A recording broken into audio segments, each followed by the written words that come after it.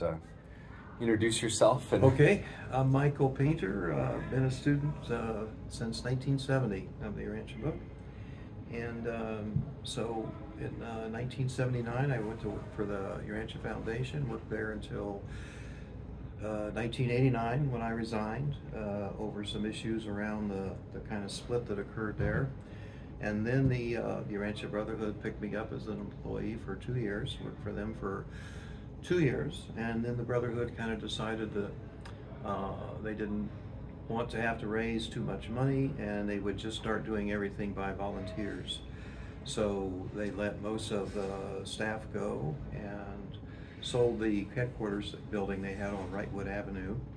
And then basically uh, everything moved to John Hale's house and uh, uh, stayed there until he resigned.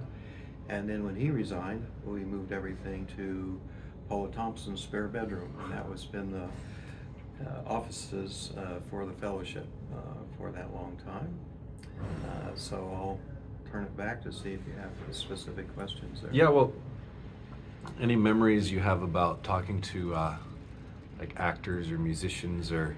Absolutely. Uh, I remember a long conversation with Eddie Arnold, and Eddie Arnold was begging almost to say, can't you separate part four? I have so many Christian friends and I would love to give them just part four, but I don't think that, you know, the rest of that book is necessarily for them.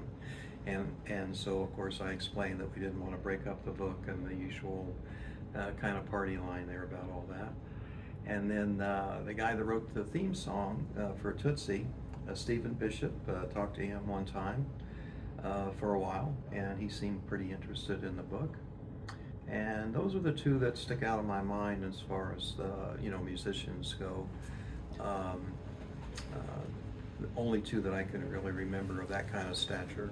Yeah, and, um, and, and yeah, you remember anything else about talking to Eddie Albert? That well, one thing is, I guess that you had heard he would call kind of not, on occasion, right?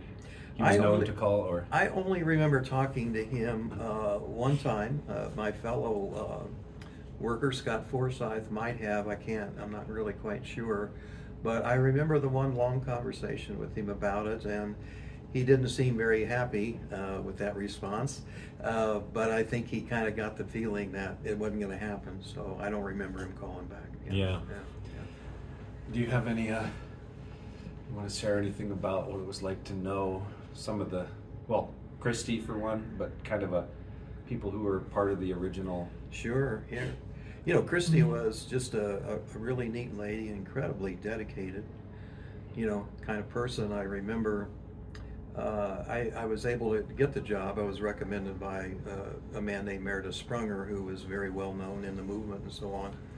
And Christy was looking for somebody, and Meredith happened to be president of the Brotherhood for that time. And uh, he was in Fort Wayne, I was in Indianapolis. Our study groups got together.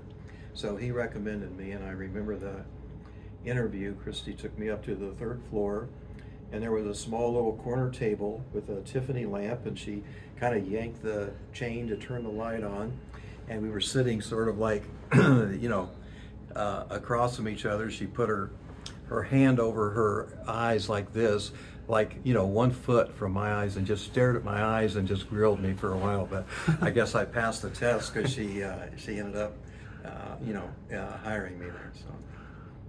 But um, yeah, all, all the people, Edith Cook, Marion Rowley, uh, all of the old timers that we call them, were, um, you know, very, very dedicated, totally dedicated, you know, to the book.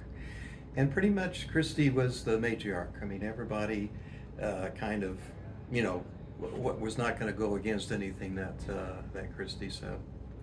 And um, so, you know, one of the I thought one of the most interesting. You hear a lot of old time stories from them, and and and I never knew quite if they were true or not. So I did. I sort of just you know didn't make too many judgments about it. But I think the most fascinating one to me was uh, she said that there was a guy in Virginia uh, during World War II who had was like a you know a hobby of, of, of battles and he actually conceived the idea of the D-Day invasion. and they were given they meaning our unseen friends because a human had thought of the idea they were given permission to transfer it to the mind of somebody in Eisenhower's European theater, and that's how the D-Day invasion plan came about. So I thought that was pretty interesting in terms of you know what they can do and and and and what they can't do. I'm sure they probably had to get permission to do that, but you know it was obviously a, a pretty severe situation. So Wow. uh, you know they they approved uh, that that transfer of the thought from the one mind to another. I never heard any. I've never heard that story before, and that's Okay. something that Christy told you. Yeah. Wow. Yeah. And she said that. Did she say how she heard it? That, uh, you know, she she was around. I mean, I can only imagine that, that, that you know, at some point the midwayers probably told them that or something. I mean, I Yeah. don't know how else you would know about a story like that. Wow. So yeah. yeah. Were there any other? Um. Yeah. Did I, I was just trying to think if there were any other stories that I've heard that I was curious if you had heard, but uh, I guess there are so many. The like other the one about the train, there was one seraphic train, or Yeah, what do they yeah. it? The story about some planet was uh, facing uh, destruction, and they were told that if they looked out in a certain direction on a certain night, they would see all the seraphim transporting all those people off the planet. Yeah. So, again, I wasn't there. I don't Yeah. know, but that was a that was a pretty common uh, story. So there were several old timers that would would uh, I've heard that from. Mhm. Yeah. Do you know like what uh Christy like what she did in her free time or do, do you know what I mean? Did they have uh, like hobbies like